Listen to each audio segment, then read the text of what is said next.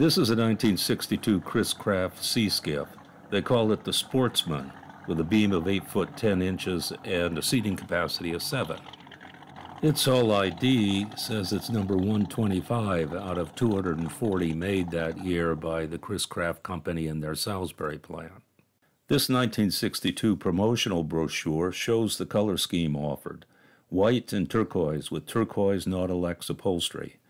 125 retains her original Nautolex green upholstery, but the top sides and the engine box have been rethought. Number 125's last major restoration was in 2015 2016.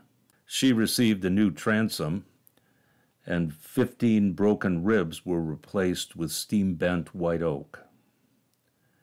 New white oak rub rails helped support new mahogany marine plywood gunnel coverboards. The top sides were stripped, sanded, CPES sealed, and painted with two coats of two part Epiphanes polyurethane, and the interior received CPES and two coats of Sandusky Chris Craft gray bilge paint. The bottom received Pettit's hard racing copper bronze. All interior brightwork was stripped, sanded, CPES sealed, and varnished with Interlux schooner marine varnish, and the floorboards were stripped, CPES sealed, and covered with Nautolex Decodot flooring.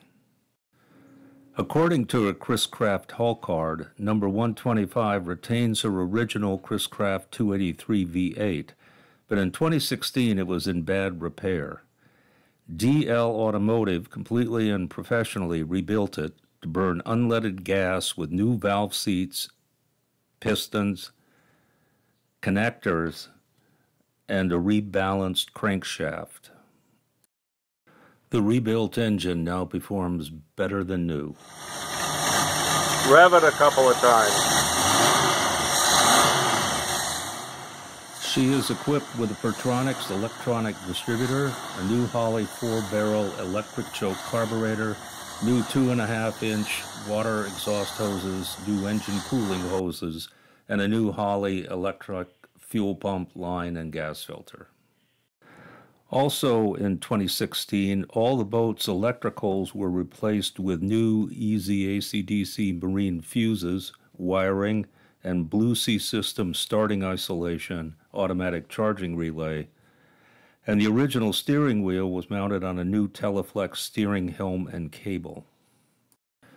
The engine gauges were restored by Coscient Instruments, and all hardware was rechromed by Lear.